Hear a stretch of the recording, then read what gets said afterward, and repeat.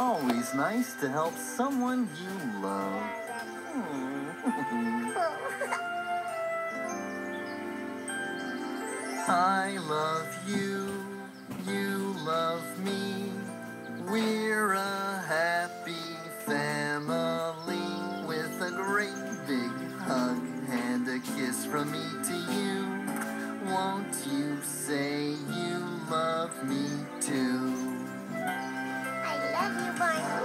home.